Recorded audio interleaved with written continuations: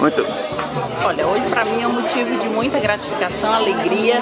Estamos aqui no, no povoado Barro Vermelho. Trouxemos a nossa equipe multiprofissional, quatro médicos, todos voluntários para oferecer o melhor atendimento. Trouxemos enfermeiro, fisioterapeuta, nutricionista, técnico de enfermagem. Trouxemos uma equipe multiprofissional para oferecer atendimento para essa população.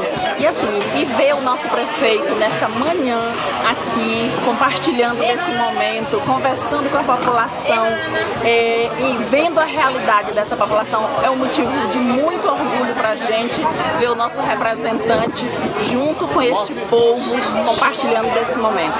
Então assim, gente, muito obrigada, muito obrigada Cinete, muito obrigada Elvis por ter nos convidado a compartilhar com vocês desse momento aqui no Barco Vermelho.